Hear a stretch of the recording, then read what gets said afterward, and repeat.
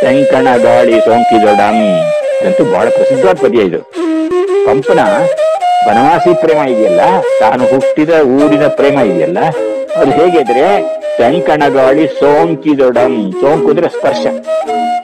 ಆ ಕಡೆಯಿಂದ ಗಾಳಿ ಬೀಸಿದ್ರೆ ಮೂಡಣ ಕೊಡುವಣ, ಶಂಕಣ, ಬಡಗಣ, ದಕ್ಷಿಣದ್ದು. ದಕ್ಷಿಣದ ಗಾಳಿ ಸೋಕಿದರೆ ಅಂದ್ರೆ ಮೆಲ್ಲಗೆ ಅನುಕೂಲ ಪವನ ಅಂತ ಕರೀತಾರೆ ಅದನ್ನ.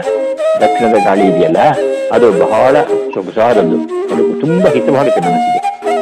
ನೀವು ಪಾರ್ಕಲ್ಲಿ ಕೂತ್ಕೊಂಡಾಗ ಗೊತ್ತಾಗುತ್ತೆ ನಿಮ್ಗೆ. ಕೆರೆ ಏರಿಯಾ ಮೇಲೆ ಕೂತ್ಕೊಂಡಾಗ ಗೊತ್ತಾಗುತ್ತೆ ನಿಮ್ಗೆ. ನದಿ ಪಕ್ಕದಲ್ಲಿ ಕೂತ್ಕೊಂಡಾಗ ಗೊತ್ತಾಗುತ್ತೆ. ಅರಣ್ಯದಲ್ಲಿ ದೊಡ್ಡ ಗಾಳಿ ಬೀಸಿದಾಗ ನಿಮ್ಗೆ